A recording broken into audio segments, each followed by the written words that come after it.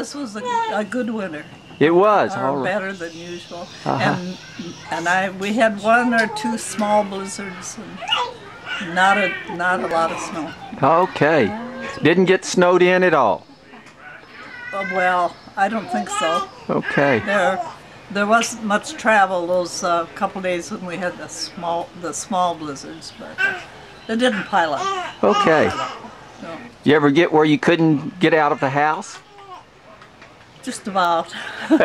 Years ago we did. Yeah, that was years ago. Okay. That's when Yeah, there was a time when the snow was so deep and they had to plow, have special plows to plow down the middle of the road, and it was so high on the sides that uh, the top of the car, you know, as high as the car. Wow. And they had little, um, had to have something colored on their uh, their uh, Antenna? antennas. Wow. You couldn't Yeah. see another car coming. Wow. Oh, yeah, and that was a bad winter. And that's the year that's the year that the pigs the snow banks covered got right up to the peak of the hog house roof and the pigs walked on the hog house and, and just wore out those shingles. wow. Yeah, that was that was the worst winter I remember. do you know when that was? Sixty eight I think I was the year Rob was born.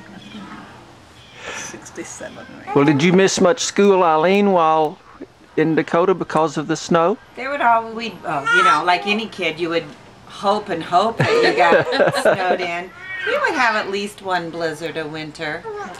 And uh, then that's when we'd get out the jigsaw puzzles and we We would up everything we could we'd try to get my grandma down there who grandma lived on the same farm but in a different house so we try to we wanted her to come because she was always so much fun to play with she was like my best friend growing up Wow. and uh, we'd play games and play cards and put puzzles together and it was fun, wasn't it? Okay. yeah i never needed any i never had you know any friends that lived close so you just learned to entertain yourself